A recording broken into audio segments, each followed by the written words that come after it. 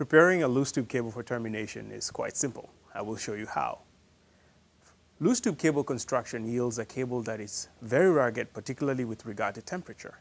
It contains 250 micron coated fiber that makes the cable suitable for all sorts of outside plant install installations. The cable I'm demonstrating with today, a FREEDM LST 24 fiber cable, has the added benefit of being both outdoor and indoor rated. This eliminates building entry transition points, a true time and money saver.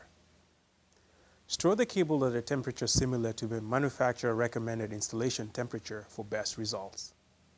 To remove the sheath on this cable, we will need the following tools.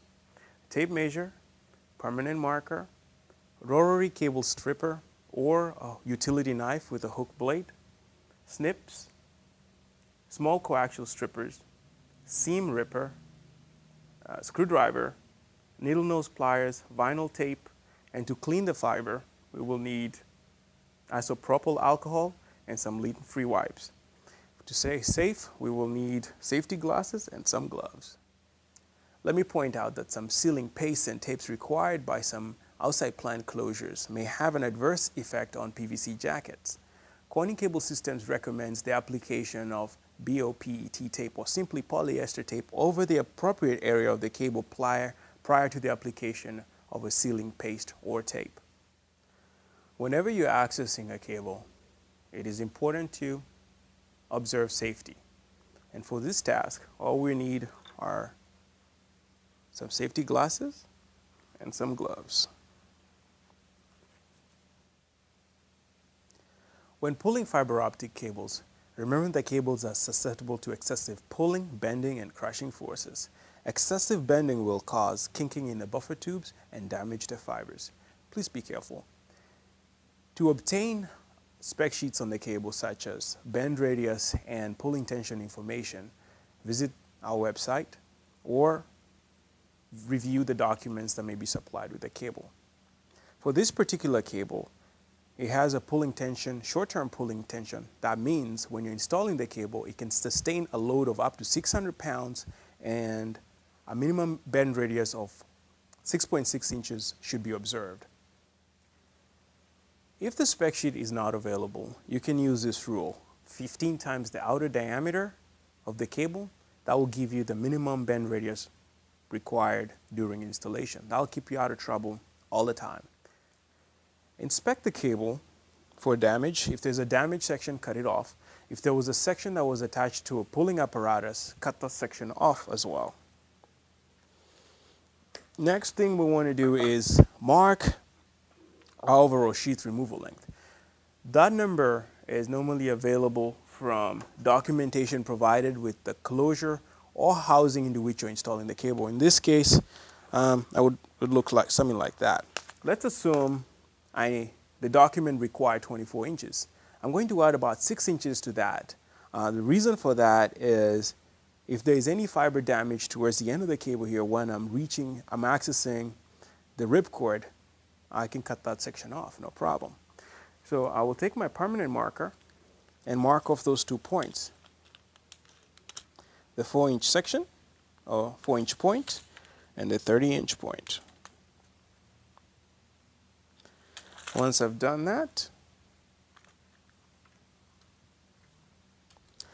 I'm going to use either a hook blade or, in this case, a rotary, rotary cable stripper. They work pretty much the same way. What we need to do is make a ring cut right here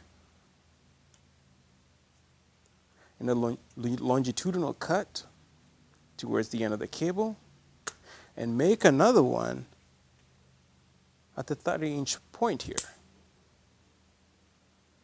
Now, you want to make sure that your tool is properly adjusted and that you're not cutting the buffer tubes. All right, pry open your cable here.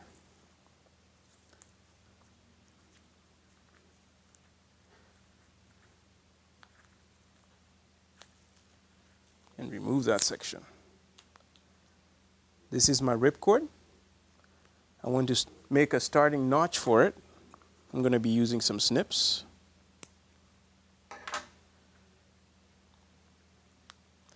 And then to aid in pulling this ripcord, I'm going to be using some needle nose pliers. Now, you can use a piece of cable or a, a screwdriver wrapped with friction tape. So carefully, I'm going to pull the ripcord up to the point that I made previously and stop right there. Do not cut the ripcord all the way. Leave about six inches just in case you're human and you make a mistake. Next step, separate the cable jacket from the contents on the inside. Be very careful not to bend this beyond the required or recommended bend radius and separate it carefully.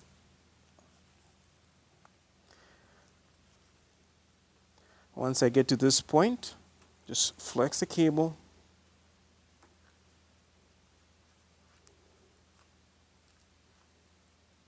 pull off the jacket.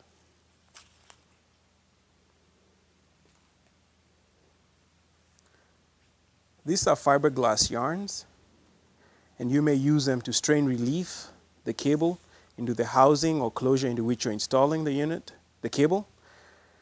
And for that purpose, do not cut them flush with the jacket, but leave about six inches. I'm going to use my snips. For those of you who are talented in braiding, you can braid this. Next thing, I need to cut the binding tape. And I'm going to use a seam ripper for this.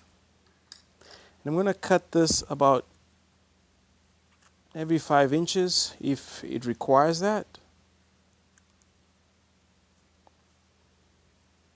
And unwind it. You may also choose at this point to cut the water blocking tape. May make life just a little bit easier.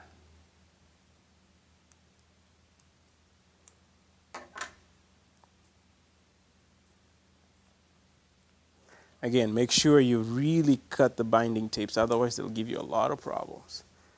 See, once you cut them, they fall off just like that. Next thing is, you do have some other binding tapes that bind the central strength member of the cable and the buffer tubes together. You need to cut those. If you're dealing with a very long section of cable, you may want to cut this about every five inches or as often as possible to make removal easier and then just roll them off the end of the cable just like that. We are almost there. Carefully now separate the buffer tubes from the central strength member and you're almost done.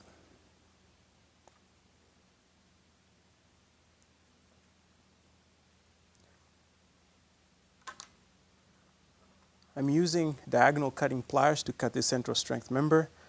Again, you do not want to cut this flush with the jacket. You may need parts of it to strain relief to the closure or housing into which you're installing the cable. In this case, I've left about six inches, or in this case, five, four inches for that purpose.